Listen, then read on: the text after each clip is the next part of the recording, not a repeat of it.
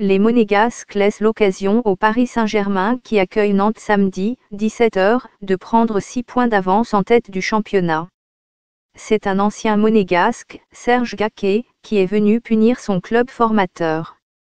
Bien lancé par Gaël Kakuta, l'international togolais a ajusté Subasic sereinement, après avoir profité des errements de la défense monégasque, 31e. En fait, le collectif monégasque dans son intégralité a raté son match.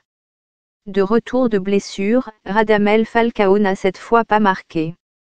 Le Colombien a trop croisé un tir, 14e, avant de buter sur un Gurner impeccable, 54e.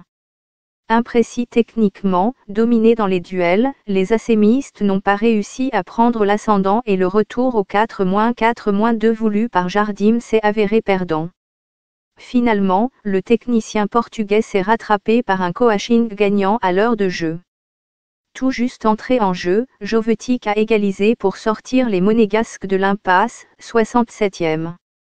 Monaco a mieux terminé, mais Amiens n'a jamais abdiqué, pour une fin de rencontre ouverte. Ce nul est une très mauvaise opération pour Monaco, qui pourrait se retrouver à six longueurs du Paris Saint-Germain si les Parisiens battent Nantes samedi au Parc, 17h.